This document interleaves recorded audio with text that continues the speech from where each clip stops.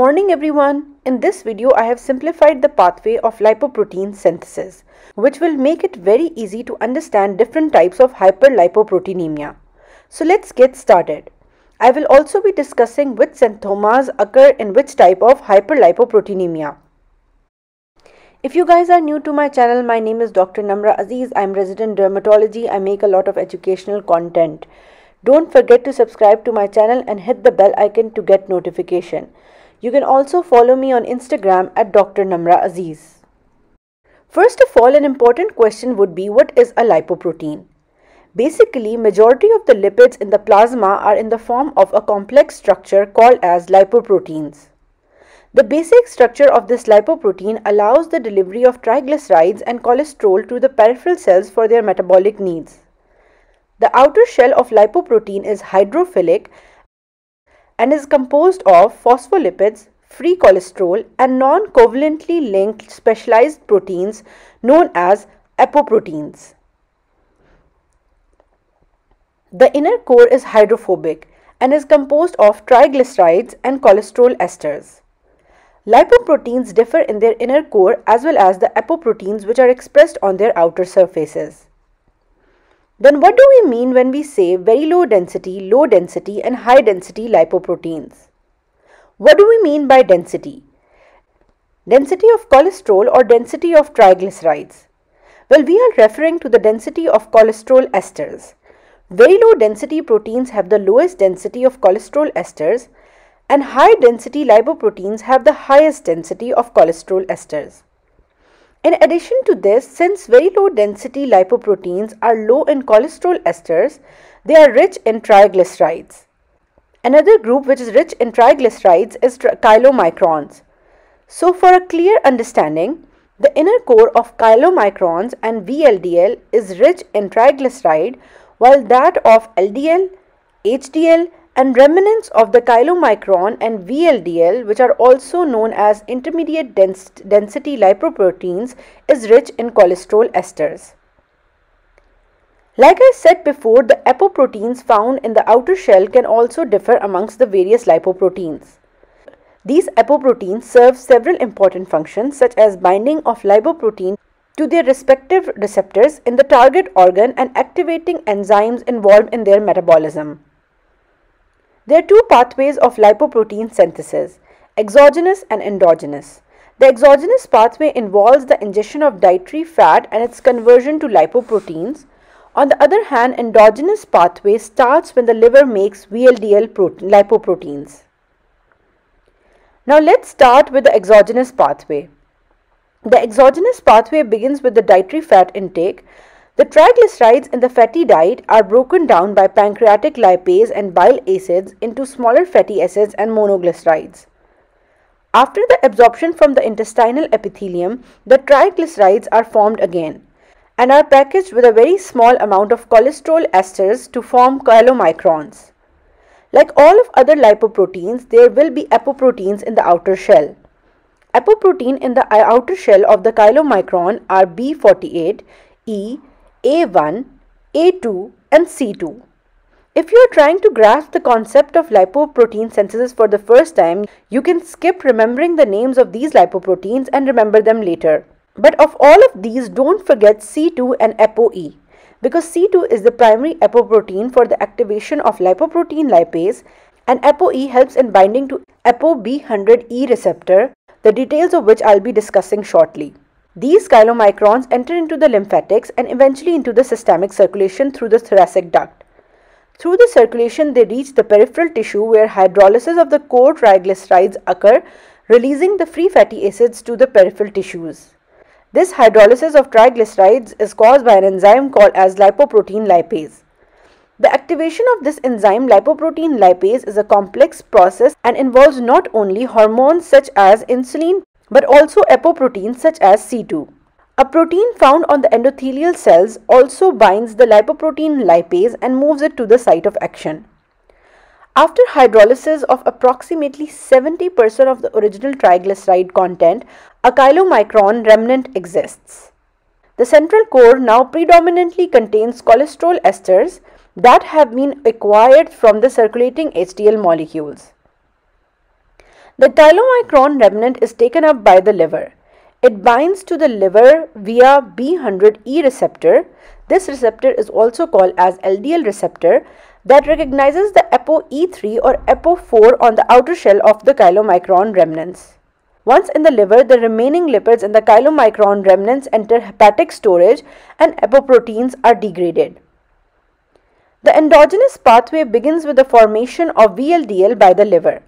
Like I said before, the central core of VLDL is triglycerides, which are not obtained from an exogenous source such as diet, but an endogenous source such as hepatic triglycerides and circulating fatty acids. Hence the name endogenous pathway. Important apoproteins on the surface of VLDL are ApoB100, ApoE and ApoC2. Similar to the chylomicron, lipoprotein lipase mediates the hydrolysis of VLDL molecule, removing the majority of its triglyceride content by converting them to free fatty acids. And the cholesterol esters released from it are acquired by HDL molecules. Lipoprotein lipase activation requires the presence of ApoC2 on the VLDL outer shell. This is the same apoprotein which is present on the chylomicron and activates lipoprotein lipase. After the removal of the majority of triglyceride content, the VLDL remnant, also known as intermediate density lipoprotein, are formed. These can be taken up by the liver after binding to ApoB100/E receptors on the liver and are then degraded. A group of intermediate density lipoprotein escape this uptake by the liver and are stripped off their remaining core triglycerides by extracellular hepatic lipases and become LDL. At this point, we are done with the lipoproteins which are rich in triglycerides. LDL contains predominantly cholesterol esters in its central core and expresses B100 apoproteins on its surface. LDL delivers cholesterol esters to the peripheral tissues where it can be converted to free cholesterol. Cholesterol has important functions within the body including being an essential component of the cell membrane bilayers. It is also important in the production of the myelin sheet of the nerves, adrenal and gonadal steroidogenesis, and the production of bile acids. Hepatocytes play the major role in the catabolism of LDLs. Their uptake is mediated through the high affinity ApoB100/E receptor found on the surface of the hepatocytes. This is the same receptor which is responsible for the uptake of the chylomicron remnants and intermediate density lipoproteins by the liver. So everything that has to enter the liver is through this receptor. Free cholesterol in excess of metabolic needs is re-esterified for the storage. High density lipoprotein serves several important functions in cholesterol metabolism. The main role of high density lipoprotein is to take excess cholesterol from the peripheral tissue and deliver them to intermediate density lipoprotein, very low density lipoprotein and chylomicron remnants so they can give it back to the liver. Free cholesterol and phospholipids are transferred from the cell membrane of the peripheral cells to the HDL molecule. The free cholesterol is then esterified by an enzyme called as LCAT. This enzyme requires the presence of apoprotein called as apoprotein A1 on high density lipoproteins.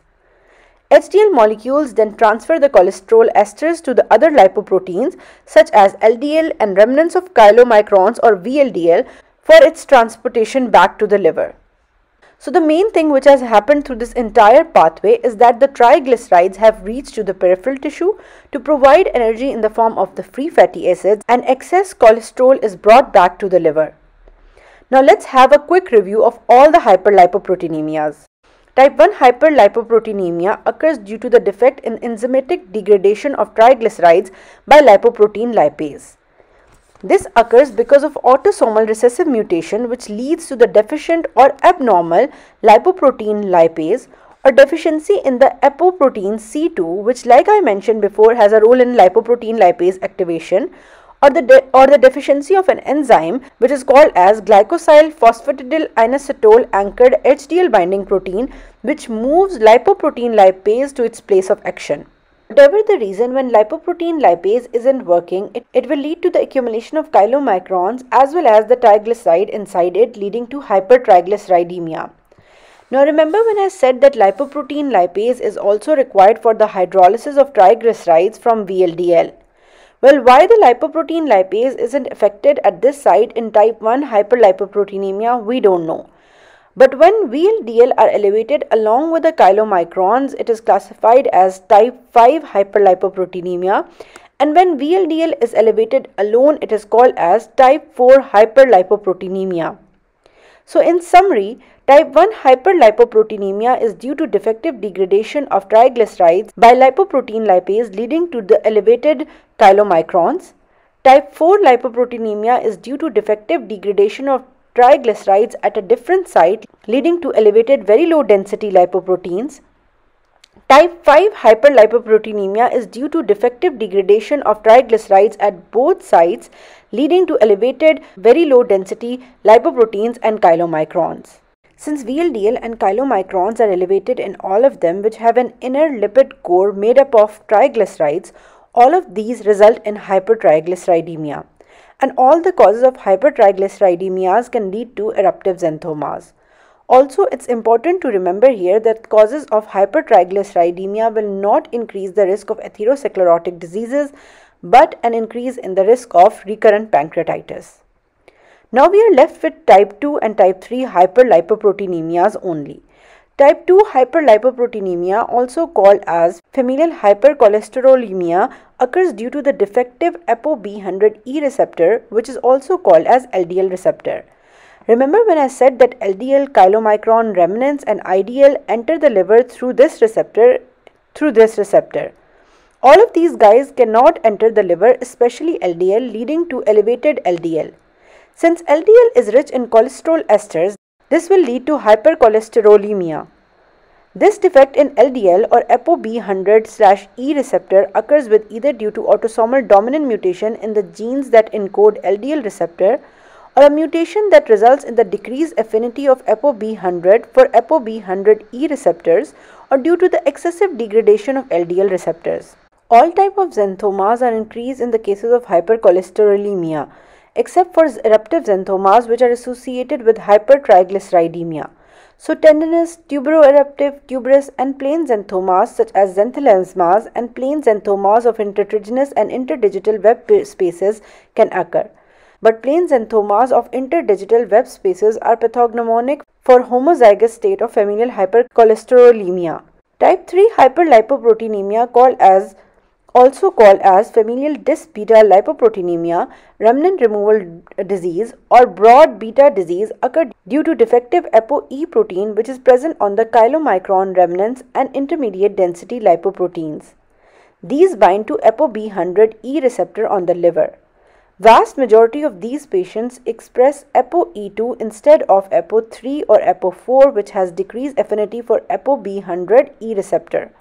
So when ApoE protein is defective, it leads to the accumulation of chylomicron remnants and IDLs. These are rich in cholesterol esters, hence, they hence there will be hypercholesterolemia, but also have triglycerides leading to hypertriglyceridemia, hence it is also called as mixed disease. Due to hypercholesterolemia, there will be tuberoeruptive, tuberous, tendinous and plane xanthomas. Plane xanthomas in palmar creases are considered to be most characteristic. Eruptive xanthomas can also occur sometimes because of hypertriglyceridemia. I think that's all for today.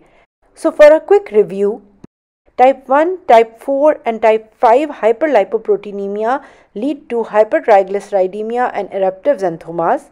Type 2 and type 3 hyperlipoproteinemia lead to hypercholesterolemia leading to tendinous, tuberous, tuberoeruptive and plane xanthomas.